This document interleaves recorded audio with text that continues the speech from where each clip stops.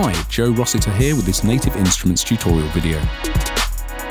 From subtle mix pocketing to creative movement and interactions, sidechain compression is a staple technique for the electronic music producer, no matter the genre. So in this video I'll break down the basics of sidechain compression, from initial concepts and recommended settings through to a few practical applications. I'll be using Native Instruments compressor plugins in this tutorial, but all the info can be applied to your favourite sidechain capable compressors. So let's start by looking at sidechaining, which is when you use one signal in your mix to trigger processing over another signal. The most common application is sidechain compression. A compressor is an automatic leveling device. When its input signal breaches the threshold you set, the compressor turns that signal down. But you can also use a completely different mix element to tell that compressor what to do. So here's a running synth loop and I've inserted this compressor on its channel. It's not doing anything at the minute. On another channel, here is this 4 to the floor kick drum. I'm going to use my DAW's routing to funnel this kick drum signal into the compressor's sidechain input. This routing method will differ depending on which digital audio workstation you use. So now all I need to do is activate this compressor's external sidechain mode with this button and dial in compression. So now, instead of listening to the synth loop, the compressor is listening to the external signal, which is the kick, that I've piped in. And you can see on this meter here that my 4-4 kick is now triggering gain reduction over the synth loop, creating that signature volume pumping effect when each kick hits.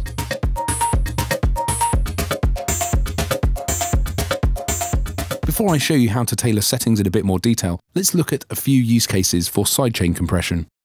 When used subtly, it's a great way to prevent two signals clashing in the mix, kick and bass being the most obvious example. But of course you can use any mix signal to move another out of the way briefly, which can help momentarily make space for vocals, effects or any sound you want to poke through the mix. And you can also get creative. Try laying down a 16th note hi-hat pattern then punch holes in the hat rhythm with another drum sound, such as the kick.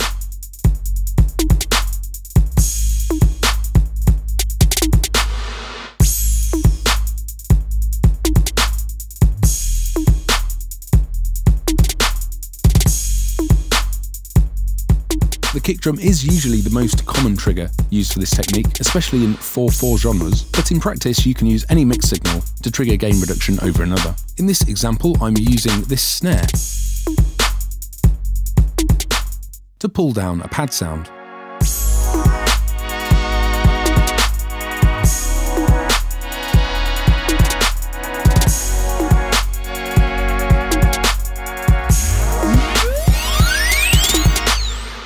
And of course, you can always use extreme settings to get that signature pumping, heard in many dance genres.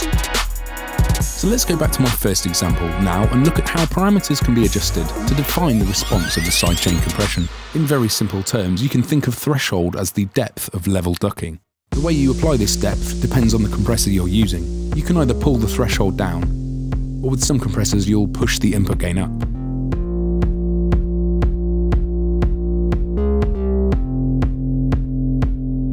Can think of the ratio as the strength or amount. The higher the ratio, the more the volume will be reduced.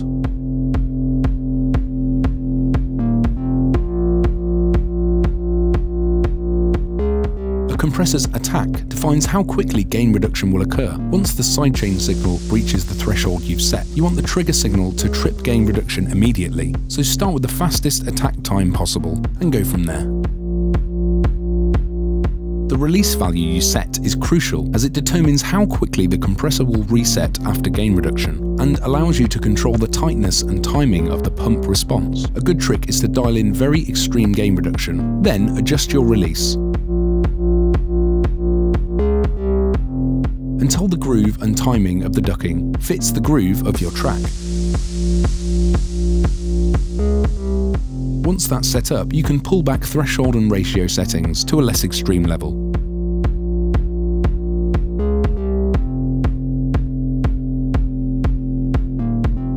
Alternatively, as a guide for tempo-specific ducking, you can calculate release times in terms of note length in relation to your project's BPM. All you need to do is divide 60,000 milliseconds by your DAW's tempo value. So in this case here, it's 60,000 divided by my project's 120 BPM, which gives me 500. Then divide this number by 8 to work out the millisecond value of a 30 second note, which here gives me 62.5 milliseconds. So if I set my release time to 62.5 milliseconds, the ducking is locked exactly in between the groove.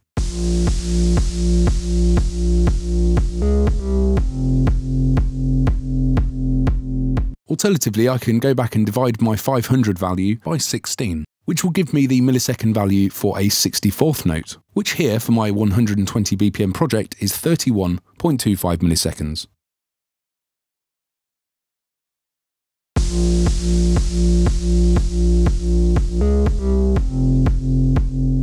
So to wrap up, let's look at a few ways to go further and customize your sidechain compression even more.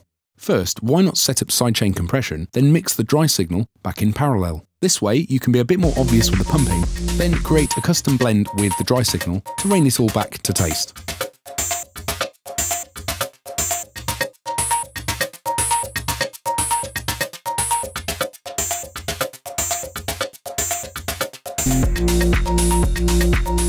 Next, as we've already looked at, you generally use an audible signal from your mix to trigger gain reduction over another sound, which is often the kick as we've already seen. But this technique can cause wild jumps in level once that kick is removed from the arrangement. So listen here, as soon as this track hits the breakdown, the sidechain compression is gone.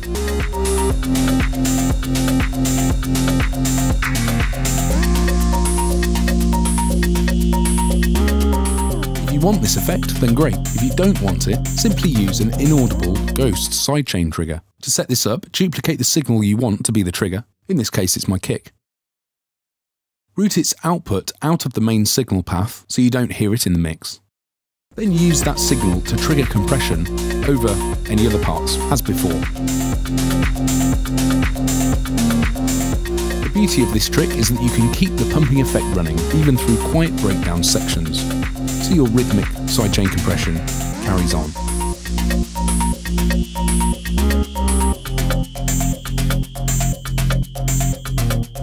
And also you can sculpt and shape the sidechain signal to customize the compression response, or you can even program a custom pattern of silent trigger notes to create interesting rhythmic effects.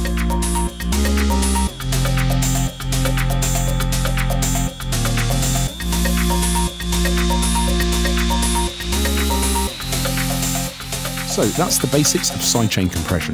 Now you understand the concepts, it's up to you to experiment and find your own uses to suit your own style. Until next time, thanks for watching.